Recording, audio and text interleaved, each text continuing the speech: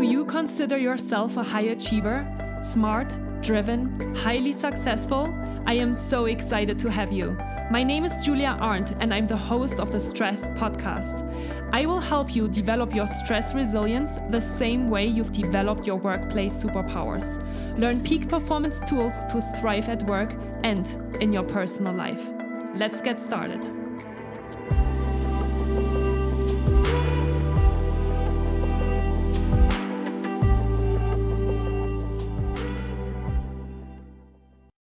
Hi, everyone, and welcome back to the STRESSD Podcast. I am super excited to welcome our next podcast guest to the show today, and it is Michelle Bersell. Hi, Michelle. How are you today?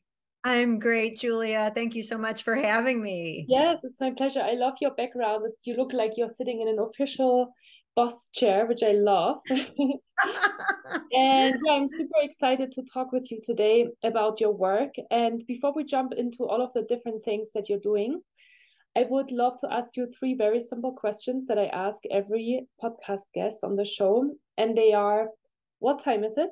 Where are you located? And what have you been up to today? Hmm. Okay, so it's a little after four my time, eh, which is Central Time Zone, uh, Chicago time zone, and uh, but I'm in Wisconsin and um, enjoying the fall weather here. Uh, today has been a mix of getting things out for World Mental Health Day. Um, so uh, there was work on an email and um, I actually have a new program out to support people with their emotional well-being that I was working on. Uh, and then I snuck in a few, well, a few minutes, maybe an hour to garden, which is always um, just, I, I try to take not just a lunch break, but just some time to enjoy my day. So that was that was my little uh, reflection time in the garden while i still have a garden here in wisconsin. Yeah. oh that's so nice. That's that sounds super lovely. Michelle tell us a little bit more about you. What you do and where where you came from that you are where what you're doing today like you know what where what was the journey? Oh god my my english today. You can tell me it's my first uh, interview actually today and the first time that i'm actually speaking um to anyone because i've been just sitting in front of my computer today. So i just have to get a little bit into the the swing of things. So let me ask this question one more time. Um how did you kind of get into the work that you're doing today? Tell us a little bit more about your journey. Sure and and just so you know i was i was following you anyways. It's it's quite all right. Uh, so my background is a psychotherapist. Um, i received my training in clinical psychology oh gosh probably a couple decades ago. And um, I, I knew right away that uh, traditional path uh, in terms of my work probably was not going to be the best fit for me what I was experiencing, even in the beginning of my clinical uh, psychology program, was this realization that, okay, therapy is obviously a very helpful tool. It's very powerful uh, when we're experiencing mental health challenges. What for me in particular, and I identify as an emotionally sensitive person, what I was finding was okay, I've got all these tools to support me to get rid of my negative feelings. The issue is being emotionally sensitive, my negative feelings keep coming back, and I would experience them um, pretty readily. And so, um, I, I, decided then that I needed additional training besides traditional clinical um, psychology and was really combining at the same time uh, life coaching. Now, back in my day, uh, life coaching was this new thing. Um, when I would tell people I was a coach, they thought like I was um, like a basketball coach or something like that. So, um, so, but it was really integrating some of uh, just these these life uh, lessons that were not not really taught, uh, along with some spiritual aspects um, that I found helpful. That was very grounding for me while I was also getting uh, my degree in clinical psychology, and so um, this was great. I, I, had all these practices then to, um, you know, for self care and meditation, um, along with these psychological tools um, to support uh, mental and emotional health. Um, so things seem to be going great, except for the fact, again, um, my negative feelings kept coming back.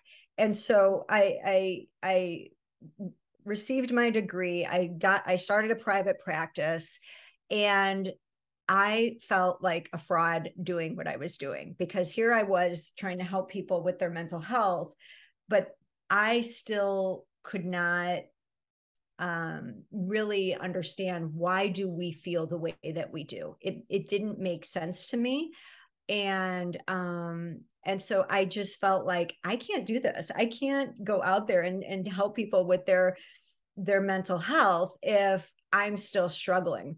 And so that's when I was like, forget it. I don't know what I'm going to do with my life, but I'm not doing this.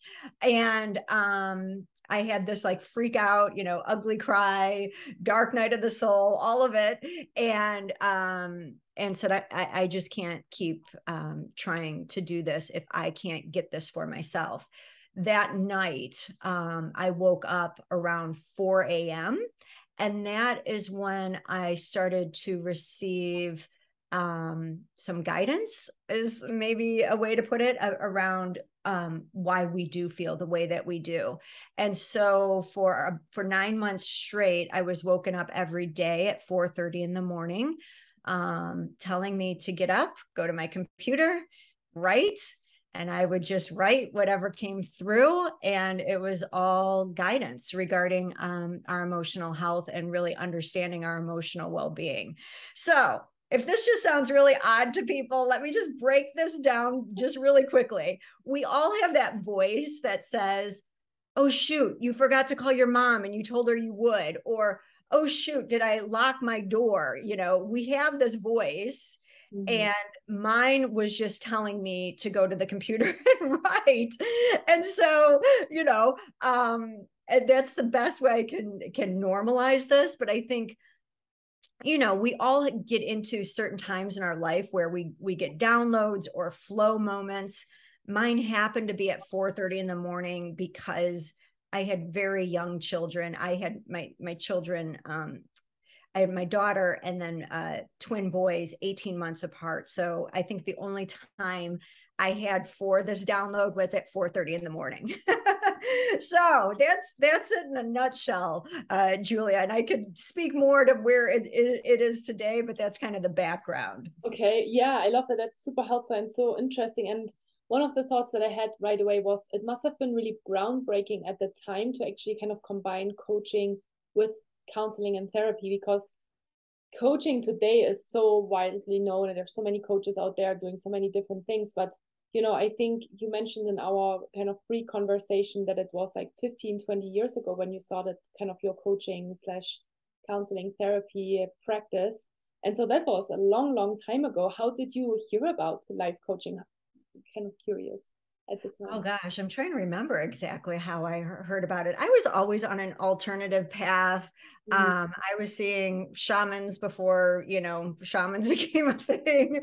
um, so somewhere, you know, in that alternative world, um, I was uh, con- I was connected with someone. Oh, I know who it was. Uh, I don't know if people remember Sonia Choquette. Um, but she, I'm originally from Chicago, and she was doing a training in Chicago. And I connected with some women um, who were also kind of on this path to um, to life coaching and um, and connected me with someone who just started off with uh, training and so i i became interested because um, it, was again it was important that i had all the the the background um, in terms of psychology and understanding these different frameworks and um, systems when it comes to individual uh, mental health uh, and how we relate to one another within our work relationships as a couple and so forth. Um, but uh, it's it doesn't mean that we're going to be happy and i think where i was really coming from are what are some of the keys that will lead me um, in terms of mental frameworks that would support uh, greater happiness. And um, and and that was a great path uh, for me. So yeah. Yeah interesting. Okay so a million questions for you in my head and maybe try and ask one after the other the first one is so what did you decide to do then right? So you wrote this you wrote all of these things down. Did that become become a book eventually? It did. It was my first book. Um, i never planned on writing a book. Uh, I, I was about five months into being woken up at 4 30 in the morning and i was like oh i think i've got a book here. Mm. and um, really yes it, it was my first book but i think it was really the the download of the core of what I would end up teaching and refining throughout the years. And um, so the book is is old it's many years ago and um, you know since then it's been uh, an experience of refining with people and working with people from all over the world and really all sectors of of people and whether they're um, C-level executives, people in sales, people who are struggling with welfare, um, stay-at-home parents, it, it really having the spectrum, and from people all over um, the world uh, in teaching them. Um, because eventually this led to uh, me doing a certification program where I where I began teaching other therapists and life coaches uh, the emotional empowerment modality, which is what this work, the my body of work, is now referred to today as is the emotional empowerment process. Okay, and is that the name of the book as well? Uh, the first book is um, you can probably see this little yellow. Yeah. Uh, yeah, that's it. It's emotional abundance, become empowered. So I I had the framework of empowerment in there, but it wasn't quite uh, the tight title that it that it became. So okay, okay. And um, so what what answers did you find to the question of how can I manage these negative emotions that keep coming back? For me, it was really um, recognizing that each specific emotion has a feeling. And this is where a, a part of the body of my work that I teach is um, how we can start to relate to our emotions differently, how we are taught to relate to our emotions can really put us in, into some vicious cycles. Um, so so if i go off the if, if i go off the question you can just bring it back. I think it's really interesting. I think it's it's cool to go a little deeper and really understand this because i think a lot of press a lot of people would like to understand that too. Okay so yeah one of the first things that that i i want people to look at or invite them to look at is some of these vicious cycles that we can find ourselves in. Um and and really to me i think part of the problem where why so many people are struggling today is because we're we've been taught so much how to manage our emotions rather than actually process our emotions. And so a lot of the corporate training that I'm going into today is saying, you know, they want to hire me to say, Michelle, you know, our emotions are all over the board at work. People's emotions are coming out sideways. How can we better manage them? And I'm saying, you don't want to manage them better. we have so much that we're trying to manage. Um, let me give you some ways where you can start to process the fe- your feelings, and and so really we start to look at look at some of the vicious cycles that we're in in terms of our relationship with our emotions. The first one is we deny. Um, and we, when we deny our emotions, then we're turning to coping mechanisms um, to, you know, so that we don't have to deal with the uncomfortable feeling. Coping mechanisms, some can be healthy, some can be unhealthy. Um, the more unhealthier they are, the worse we're going to feel. Um, that depletes our energy. So when we when we deny our emotions, there we our life force energy is actually internally pushing down these emotions. So when people say that they're they're burnt out and depleted a part of it is is that they're trying to contain um these emotions that they're experiencing. So you know i've gone in in corporations and have done group training uh, i'm sorry group, group coaching. And you know these people a lot of the employees and and again high level executives and managers they don't want to say how depleted they are. But what happens is is that so much of their internal energy is again pushing that down that it adds to the to their depletion. So sometimes just giving voice to this is incredibly powerful. Um, so sorry, I'm going off on a tangent on this, but anyways, the more we we push down uh, these emotions, um, the more likely we're actually setting ourselves up to feel more uncomfortable um, emotions, and so we get in this cycle. So that's the, one of the most common vicious cycles. The second one is where we're we're reactionary, right?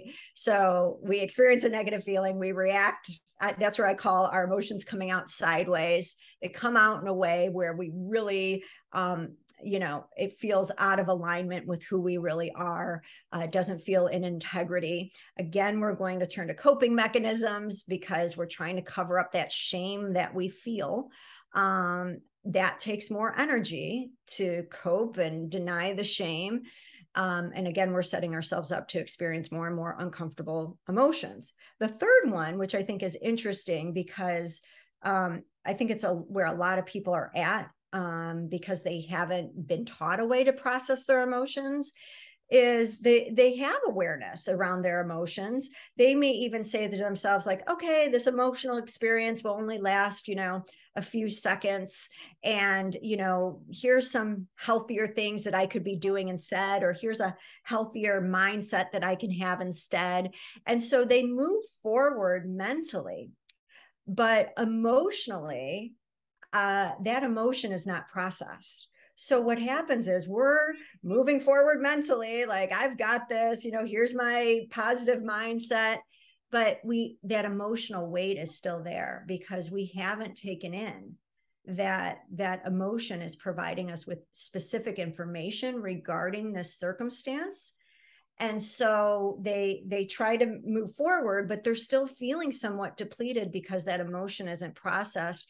And then they find themselves they're overall they can feel you know better um, than someone who's turning to like unhealthy unhealthy coping. Um, but they they'll find themselves stuck in certain areas of their life like wow i'm really great at my career but relationships i seem to get stuck over here or um you know i'm really good with relationships but i'm i find myself in the in a cycle where with money or with time management or whatever it is and it's because we're never getting to the root of the emotion which is trying to help us get to the root of the shame so that we can move forward more freely. And so um this is what i'm really getting helping people get to the core of is within each emotion um, how to process it and with deeper feelings how to get to the shame so we can move forward more freely mm-hmm. interesting so i assume that you still have negative emotions uh, regularly but do you feel like you just have found a better way to process it and to accept it, it sounds like there's a lot of acceptance and just kind of moving and feeling these emotions process that really helps you to to just kind of let go of maybe those uncomfortable feelings of feeling negative emotions? Yes, I would say um, I do still experience negative feelings. And the reason is, is because as long as we're alive, hopefully we are experiencing negative emotions. Because um, think about it like um, maybe people in your audience have heard how when we're on an airplane, like I think it's 98 or 99% of the time we're off course so when we're on auto the, the plane's flying on autopilot 99% of the time we're off course it's get the the airplane is getting signals about how to get stay on course so mm-hmm. depending on the circumstances the wind i don't know if there's a bird or the weather or whatever it is it's it's recalculating um, to support the plane to get to the de- destination the easiest the fastest etc it's the same for us with our emotions. They're con- we we have um, according to uh, emotional intelligence research 27 diff- different emotional reactions every hour per so per day that equates to around 432 different emotions that we're experiencing.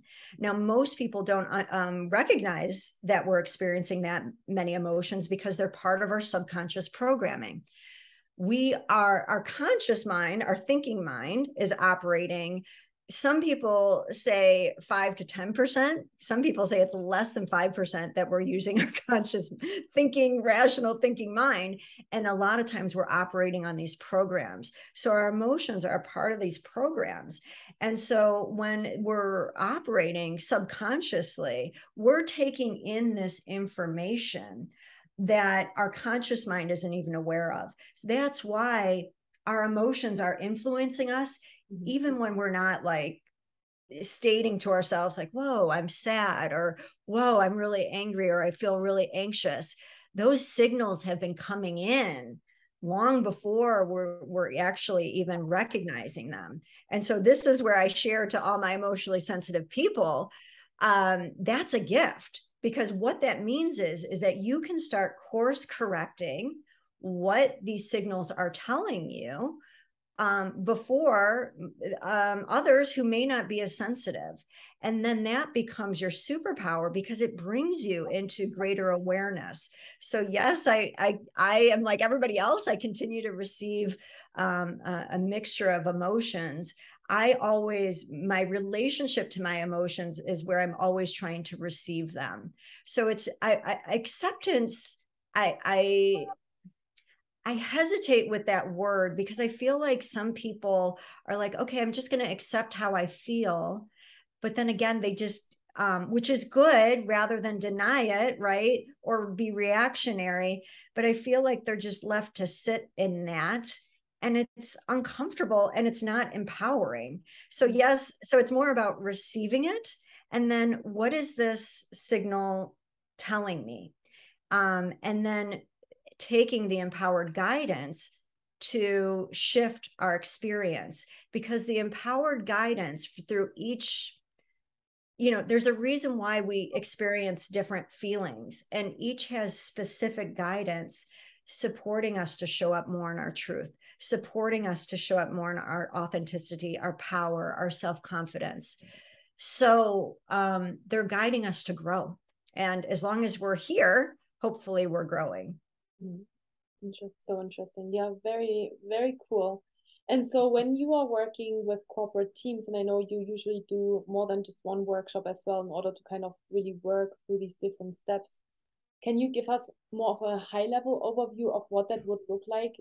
You know, would it be three sessions, six sessions, and kind of what what do you address in these different sessions then with regards to managing, not even managing your emotions, but we just learned that process That's right, Julia. No more managing. No more managing. Okay. Yeah, no, processing our emotions. Yeah. So, um, like for leadership training, it's usually in three parts. Part number one is emotional empowerment 101. Like this is your training on emotions that we never had, that we all need.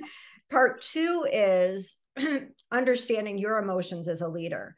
So I'm not going to teach leaders to be empathetic towards their team if they don't understand how to if they don't understand their own relationship with their emotions. Mm-hmm. so I, I i think that's a little surfacey if we say hey i'm going to give you training that's going to make you you know create better psychological safety and empathy and it's all about your team and not about you. And so it's really addressing um, one's own relationship with their emotions, understanding some of their emotional blind spots, and working through some of their own challenges um, so they can see that their empowered emotions are actually working for them. And that's when I really get my leaders um, really excited about this because when they see when when we apply it to a, a, challenge that they're have having and they have a breakthrough they're like okay this this works.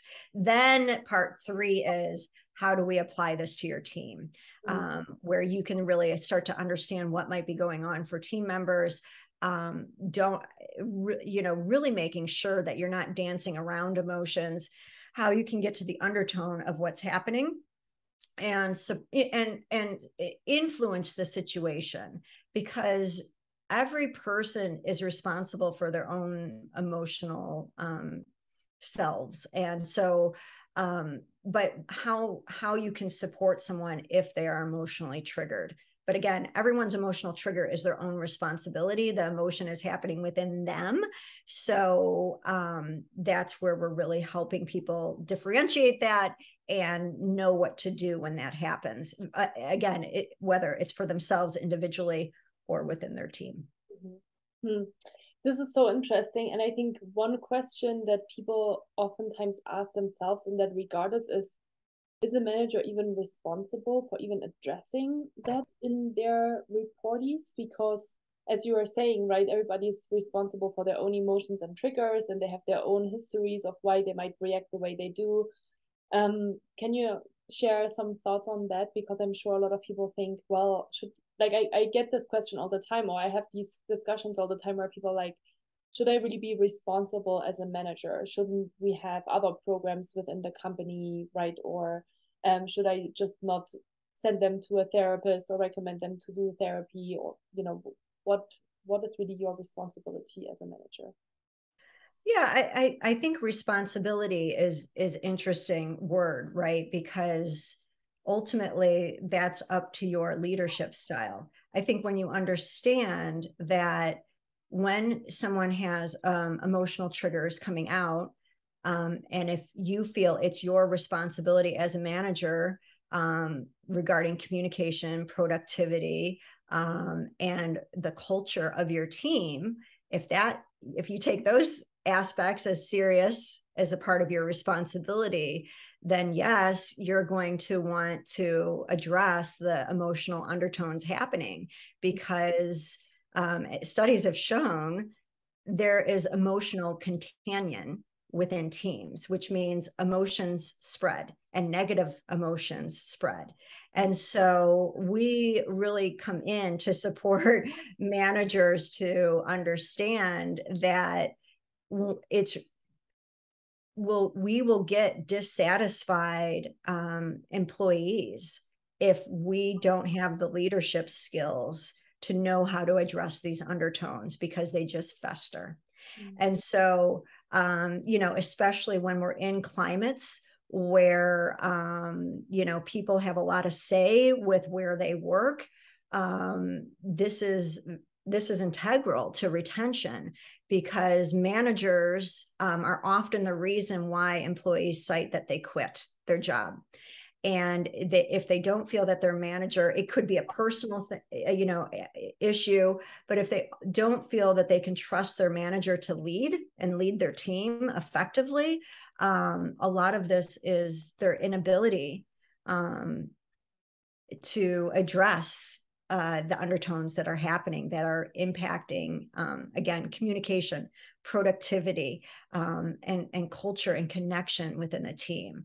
So um, it's interesting because i would say that that's an old school mentality um, before the pandemic right? Where we're like emotions don't belong at work. You know, here's a program or here's a therapist recommendation. And what we're going to see for leaders and managers is that these so you know so-called soft skills are going to be what really set you apart in your leadership ability and creating this level of um, psychological safety within your team um, really supports you and your growth as as a leader. Um, so I, I just think it's going to be more and more imperative. Yeah i couldn't agree more. I think it's so important. And you know one of the ways i'm already thinking is is that you just need to educate everyone as well. I think if the team is on the same level and they would at least get like you know an introduction to how to process emotions then you can have very different conversations as well with team members than if you just have that knowledge and you kind of have to bring it you know kind of break it down to employee levels. Um, it's going to be much harder to get that trust and to get that understanding than if you would have someone external come and speak about this. So yeah i think that's so important work and so interesting. So yeah, I'm I'm very very happy we have you on the podcast today. Oh, thank you. I, and I'll just speak really briefly to that is that we've seen both. Mm-hmm. I've gone in and just trained leadership teams um, leaders, even if they didn't have their team members um, experience experience the training, um, leaders have shared that they received um, a, a 50% impact on emotional burnout within their team just from the training and how they show up as a leader. It's reduce, reducing emotional overwhelm and burnout. Um, of course, when we get when when my organization comes in and does employee wide training, um, that's when we're really seeing a significant difference because we've got leaders who are embodying this and, and bringing this forward, and then the employees um, are just making complete turnarounds in their communications, in con- you know conflict resolution, um, and, and and really a sense of cohesiveness um, between um, one another. So um, leaders have more of an impact managers have more of an impact than they realize. So but yes it, having a common language always makes it easier for sure. Yeah for sure. Understand understand that yeah. So um you were mentioning a certification earlier. Well actually before we got get to the certification that i'm curious about what you teach there is um you know you were saying which i found super interesting and i have never heard this before actually that we have about 24 emotion emotions per hour. 27 and on so average. 27 emotions per hour and then 432 emotions per day so if we're right, because if we get eight hours of sleep, that leaves us with 432. And and for many people who don't get the eight hours of sleep that they need, they're probably crankier and you're awake more, so you're having more emotions. Yeah. Yes. Uh-huh. Yeah. Very interesting. And do you know if there is a difference between male and female? Do men emo men oh as many emotions as women? I, I this is on average for both um, women and men. Now, based on how I understand our emotions work, again we're receiving the signals whether you're aware of it or not so what you may be speaking to is you know it, um, you know where it, the um, a lot of women will say i i i'm aware of a hundred emotions an hour. And and sometimes will men will say well i i don't know like five maybe? So um so we kind of have these stereotypes but again i think it depends on just how we're built. Some of us are more cognitively focused and and that is obviously a great gift. Some of us have that deeper emotional connection. Um, i know for myself growing up that was seen as a weakness um, but uh, this really can become um, your secret sauce to again leadership to connecting with others and to really understanding what's going on for others. And that's what i love about this because um, i've done this training before with with people in sales and sales tend to often be men and really helping them understand that the more that they have they're able to connect with this the more they're able to connect with the the potential fears of what is going on for uh, potential uh, clients and customers on the other side. And so they're aware but i think there's also so there you know there's different experiences as how we grow up as as you know being a, a man or male and a, and a female and how we're conditioned and how we're you know t- what we're taught to pay attention to and what we're not. So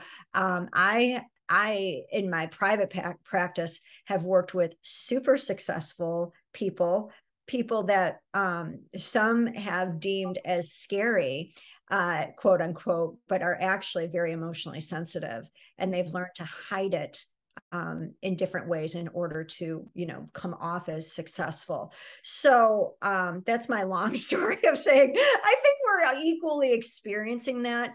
Again how we process information some of us you know um, man or a woman um, uh, we might lean towards more cognitive framework versus an emotional framework but um, those signals are still coming forward. Yeah we're all human beings for sure yeah. Okay, so tell us a little bit more about your certification that you do nowadays, because what I understand is now you work more in that regard, right? You don't really work with individuals, you work more with organizations and teams, and then you also do the certification work. Yes. So the certification work is actually um, something that uh, is is closed right now as I'm I'm focusing more on um, uh, more on corporate training. There's a wait list right now where so we're there's a potential for it to reopen. Um, but back in 2015 was when um, I really started getting people requesting hey michelle can is there a way that you can train me on this so it was either um, life coaches who uh, felt like they had a lot of um, training in terms of uh, mental programs and what's the mindset that they can work on. But when it came to emotions, they weren't sure what to do with their clients. Mm-hmm. I'd also get therapists who would say, you know, Michelle, even though I got my degree in clinical psychology, even though I'm a therapist, um, you know, I still struggle with my anxiety, or, you know, I, I have some anger that I haven't dealt with. And so they wanted to experience the process so that they had more tools um, to address what was going on within them and then apply it to their clients or patients. Um, so um, that started in 2015. Since then, uh, we've trained people um, all over the world, um, you know, US, Canada, um, Denmark, um, Iceland, uh, China, all over. And, um, you know, it's been really exciting to see that, again, no matter where we're from or what our background is, like emotions, it's a universal language. Mm-hmm. Um, and when we learn how to work with these emotions, um, it, it can really apply to everybody. It's so, so true. And um, to kind of wrap this up for today, if you know we're not an organization listening to this podcast right now, we're obviously an individual, and maybe we are, or the person you know who you who are listening right now, maybe you are experiencing these negative emotions. So, what would you tell people is maybe the first one, two, three steps that they can do in order to really tackle the anxiety that they're still experiencing, or the anger, or the you know maybe negative emotions what would be the first few steps that they can take? Yeah, I would say first of all, eh, you know, be compassionate with yourself. Um, it, it it's very challenging um, as these emotions arise, or if they're continuing to arise. Um, that we have to bring that that self love to ourself. That there's nothing wrong with you um, you're not broken. Um, in fact, I would argue that there's something very right with you and that your emotions are working for you. And I also want to, uh, you know, acknowledge that that could be difficult to hear. I've worked with a lot of people who um, have come to me as a last resource. You know, they were on psychotropic meds and they were having too many side effects with that. Um, they you know they tried therapy they tried um, you know so many different things and nothing was working for them. And so to hear that your emotions are actually supporting you they would get mad at me and say michelle how can you say that to me? And i would say i get it but a part of the issue is and again i, I i've worked with people um, you know after um, after uh, a, a suicidal attempt.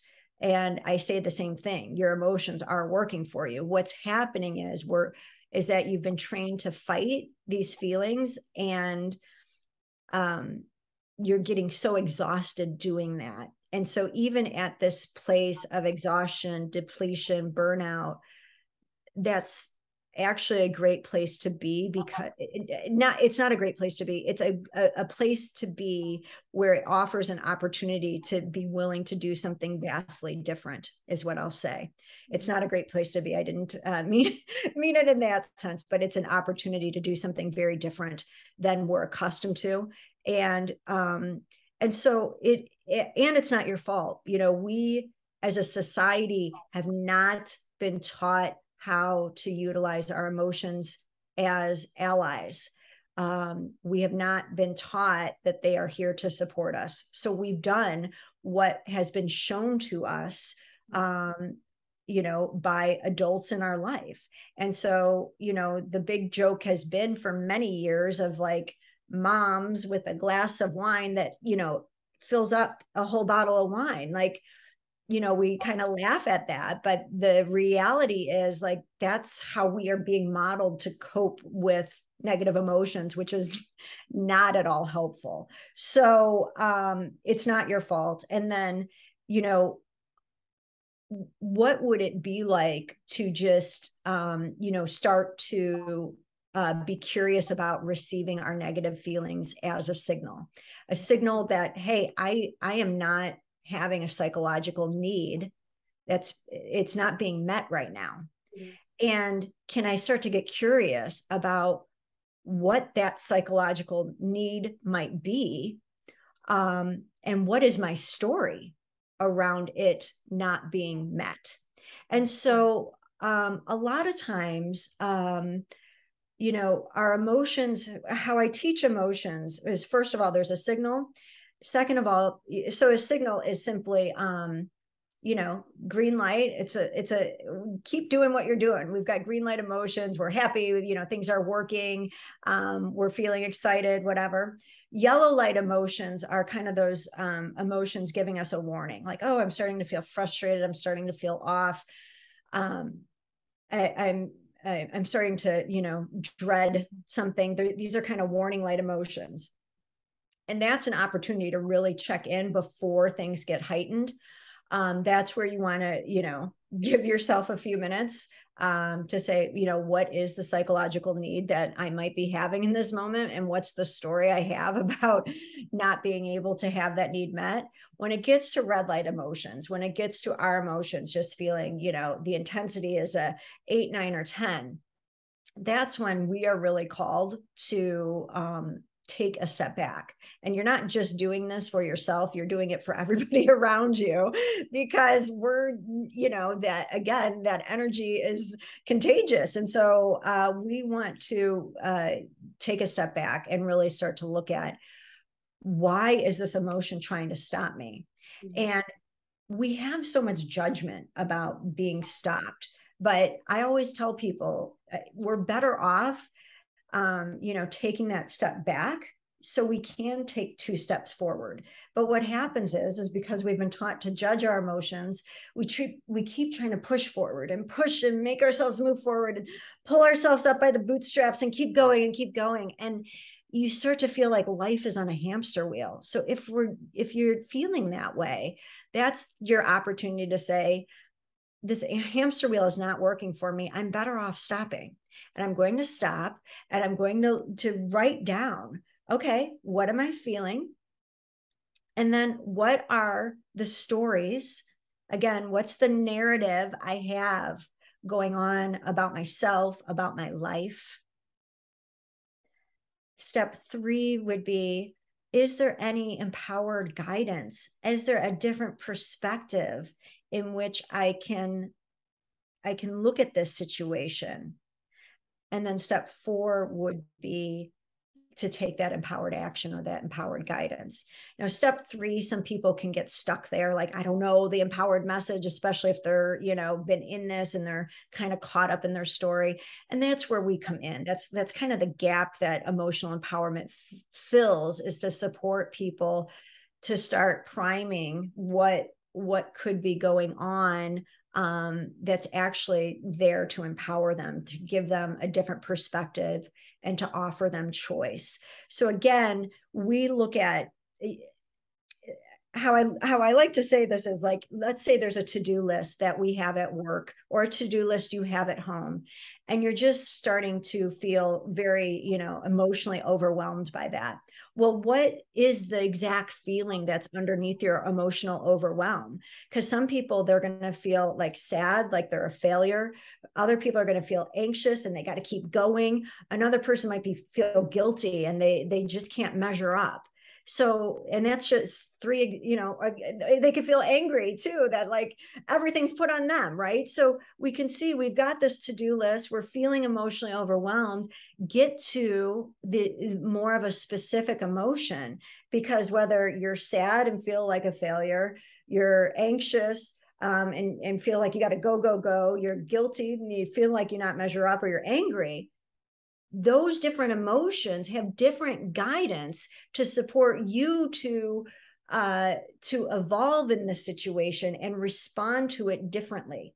So the response is very specific to you and how you are feeling about the situation because there's the opportunity where it's trying to help you see the situation differently and show up differently. So if it's anger, it's guiding you to show up differently compared to if you're feeling guilt or anxiety, etc. So um, really looking at what is this uh, uh, what am i feeling? And the more you can drill it down the more you're going to actually be able to get into some of the the shame that's underneath there. And that's where we can start to challenge those stories and um, and and and ultimately be freed up from them. That's where we want to get you to because anytime we're emotionally triggered it's this subconscious wiring back from when we're seven years old, um, or it could be in our teens or in our 20s or some traumatic experience. And um, when we use our emotions as signals, and as um, and as a part of our inner GPS, this is where we have the power to st- to start rewiring those stories and that's the opportunity where we get a less emotionally triggered and then we feel more internally freed up because we're actually processing our feelings. Mm-hmm. So interesting. I'm very, very glad we had you, Michelle. If people are curious to learn more about this, how can they connect with you or read more about this? What can they best do? Yes. Uh, so if you're interested, the best way to connect is to go to my website, which is IIEE dot training. So IIEE stands for the International Institute for Emotional Empowerment dot training um, because it, I offer training in all of this. So no dot com, um, just IIEE dot training. And um, from there, uh, you can connect and uh, sign up um, for um, blog or to learn more about other trainings that I offer. Awesome, great. And I will make sure to connect that in the show notes as well. So again, thank you so much, Michelle. This was so interesting and so fascinating, and definitely a subject that I think we can always talk about and always dive deeper into because I think you know talk about mental health, World Mental Health Day today. There is obviously a lot to be said about processing emotions and looking at emotions and understanding our emotions. And I think actually your book title, Emotional Abundance, is you know from 20 years ago whenever you wrote that book i think this is actually coming back like you know now as uh, yet you were like it was really groundbreaking stuff that you did at that time because now now people are really listening and now people are really paying attention to these things and so I'm super, super excited we had you, super excited to have learned myself a little bit more about this topic as well. And if you are listening right now and you found this episode super interesting as well, and you think, wow, I really need to share this with another person, a friend, a family member, a colleague, a manager, a leader um, that should really listen to this information, make sure to share this episode with them. This is the simplest, easiest way you can do to uh, help other people and to support us, Michelle and myself, in just spreading the word about the importance of emotional health, mental health, you know, avoiding burnout, all of these important subjects that we're talking about on a weekly basis here on the podcast. So thank you so much already in advance for your support. Thank you again to Michelle for being here today, and I wish you a wonderful rest of your day. Thank you, Julia. It was such a pleasure. Thank you.